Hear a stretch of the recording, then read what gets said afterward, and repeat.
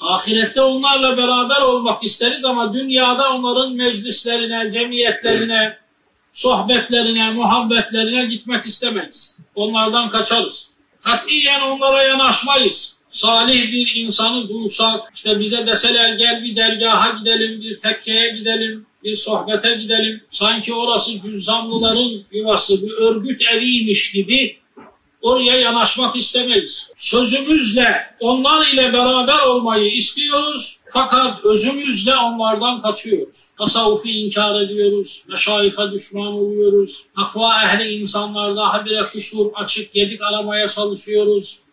Canım filancalar şöyle, fişmancalar böyle, onlar şöyle.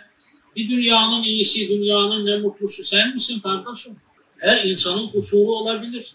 Canım ya raşucuların yeri, bucuların yeri, yobazların yeri, irticacıların yeri, nurcuların yeri, Süleymancıların yeri, efendim tarikatçıların yeri. Herkese bir kulpun var ya, elinde bir boya tenekesi, herkese bir çarpı işareti koyup duruyorsun. Gülün dikeninden şikayetçi olacağına dikenlerde gül yetiştiği için şükredici ol yani. Bakış açını değiştir. Bu da bir bakış. Gülün dikeni var canım. E olabilir. Ama bir de şöyle bak ki o güllerin içinde diken yetişmiş Allah Allah. Netice farklı yere gider değil mi?